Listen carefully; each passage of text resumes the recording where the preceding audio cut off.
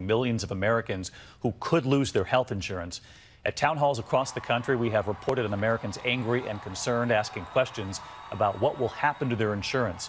Tonight, the new independent report just out, looking at the new plan that just passed the House to repeal and replace Obamacare. How many fewer Americans will be insured in the next decade? ABC's Mary Bruce on the Hill tonight. Months, Americans have crowded town halls, voicing fear and frustration.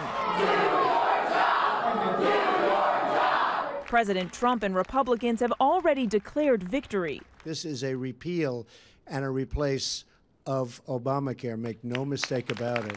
And tonight, we finally know what the House health care bill could mean for you. The Congressional Budget Office releasing their report card, finding the bill could leave 23 million more Americans uninsured and reduce the deficit by $119 billion over the next decade. For some, their premiums could skyrocket. A 64 year old making roughly $26,000 in some states could see their premiums climb nearly $12,000 or more. Those concerns around the country.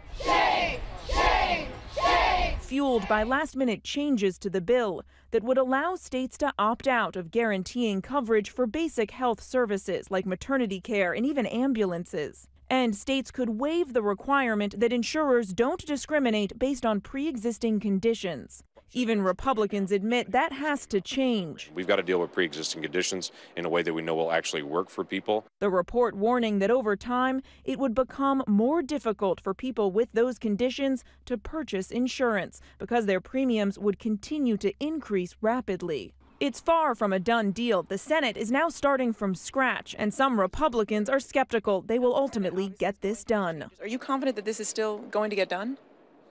No. I think that no, no I, am I'm not confident. I think it's, uh, I think it's, I don't know what the odds are, but I think it's going to be a tough call. And Mary Bruce with us live tonight from Capitol Hill. And Mary, now that these uh, new numbers are out, the Senate can finally get to work with the path forward you were telling us earlier, not very clear.